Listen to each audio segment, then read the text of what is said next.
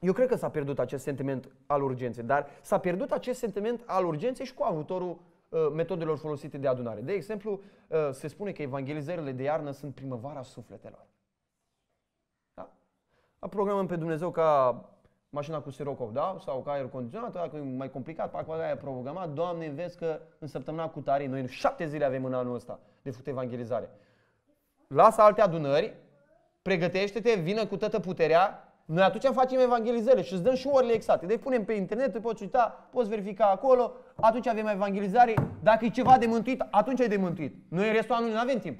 Și nici oamenii din lume n-au timp să ne asculte pe noi în restul anului. Vină!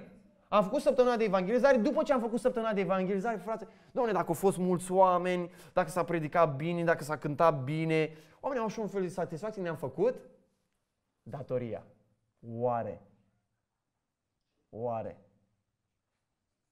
Eu nu cred că ne-am făcut datoria.